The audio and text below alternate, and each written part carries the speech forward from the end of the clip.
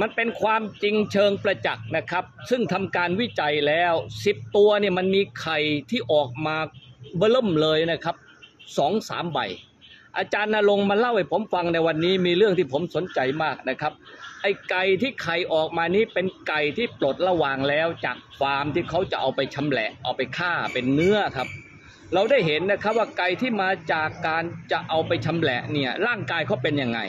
หน้าตาก็ซีดเซียวนะครับ ขนก็ไม่มีร่วงเขามีความทุกข์มากชนิดที่ผมอุ้มอยู่เรียกว่าไก่คอนโดทำไมเรียกว่าไก่คอนโด เพราะล้าวมาเนี่ยสองชั้นสามชั้นสี่ชั้นไงนะอยู่บนที่แคบๆไม่เคยถูกแสงแดดแสงตะวันนะไม่เคยได้รับไอฝน ไม่เคยรับบรรยากาศภายนอก ไม่เคยเห็นต้นไม้นะเพราะฉะนั้นรูปทรงมันออกมา เอาดูตั้งแต่หน้าตามันนะ ไก่ที่อยู่ในที่ร่มตลอดเวลาอยู่ห้องแอร์ด้วยนะอยู่แบบคอนโดด้วยนะที่แคบๆอยู่นะเออหน้าตามันซีดไก่ที่เลี้ยงอยู่ตามฟาร์มใหญ่คอนโดนะครับ พื้นที่ปิดเดือนตะวันเกิดมาพวกเขาเกิดจากไข่ พระอาทิตย์ก็ไม่เคยเห็น พระจันทร์ก็ไม่เคยเห็น สายลมแสงแดด สัตว์เหล่านี้ไม่เคยเจอนะครับ แต่แปลกมากพอนำพวกเขามานะครับ หลังจากที่ไม่อยากให้เขาเข้าโรงชำแหละ เอามาเลี้ยงในระบบธรรมชาติ เขาได้ถูกแดดนะครับ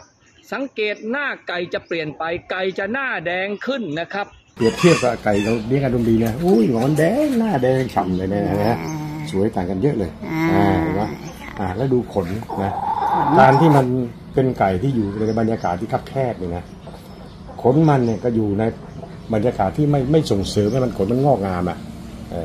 เออขนมันจึงสั้นๆขนร่วงนะทั้งร่วงทั้งตัวเลยนะโดยเฉพาะที่หางมันกุดหมดเลยดูดิเนี่ยอ่าที่หางมันก็กุดหมดเลย เห็นไหมเนี่ยนะเออขนขนเหมันไก่พิการน่ะ ดูสิเห็นไหมแต่มันก็ขายได้ทุกวันวันนี้ยังอุตส่าห์ไข่แล้วเนี่ยนะอ่ายังอุตส่าห์ไข่แล้วเนี่ยสิ่งเหล่านี้ผมคิดว่าไม่ต่างกับมนุษย์ เราได้เห็นนะครับว่าผลผลิตที่ได้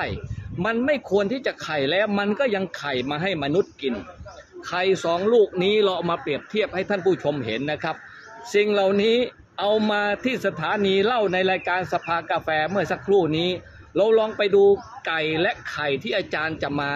แสดงให้เห็นหรือเอามาให้เห็นนะครับมันสวยลื่นนะอ่าสมบูรณ์น่ารักอันนี้ขนกระหล่อมกระแหลมเห็นหนังมั่งเห็นขนมั่งเห็นนะเนี่ยมันมันสะท้อนถึงความเป็นสมบูรณ์ของมันอ่านะเหมือนไก่ที่เลเหมือนไก่ป่วย เหมือนไก่ที่คล้ายๆกันเหมือนไก่ซอมบี้อะเออ ไก่สองตัวก็แตกต่างกัน มีความสุขแตกต่างกันเขากินอะไรบ้างนะครับ หลังจากที่ออกจากฟาร์มจากการปลดระวางเนี่ยเอามาให้กินลำข้าว กินหญ้า เอาใบตองนะครับ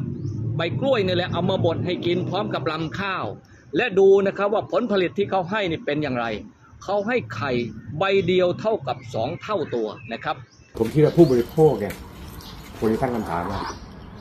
เราจะกินไข่ของไก่รมดี หรือกินไข่ของอุตสาหกรรมที่เรากินกันทุกวันถ้าเรากินแต่ไก่อุตสาหกรรมเนี่ยก็แปลว่าเขาก็ต้องเลี้ยงอุตสาหกรรมเนี่ยมันขายได้ไงได้กำไรดี แต่ว่าเราได้กำไรบนบนสิ่งที่ว่าสัตว์มันไม่สบายอ่ามันไข่ให้เรากิน คนกินก็สบาย แต่คนไข่ให้เรากินเนี่ยสัตว์เป็นไข่เรากินมันไม่สบายเลยอะดูดิเออเนี่ยสิ่งเหล่านี้เราได้เห็นนะครับว่าสิ่งมีชีวิตที่เราผลิตออกมาได้ อุตสาหกรรมที่ผลิตออกมาเนี่ย เป็นอาหารที่ดีให้กับเพื่อนมนุษย์เราหรือเปล่านะครับ แต่แปลกมากหลังจากที่สัตว์ที่เราเลี้ยงฟาร์มขนาดใหญ่เหล่านี้ ถ้าเราเอามาอยู่ในระบบธรรมชาติ เขาจะมีสารแห่งความสุขนะครับ และเขาก็ให้ผลผลิตดูสิครับ ท่านเปรียบเทียบกันเอาเองนะครับ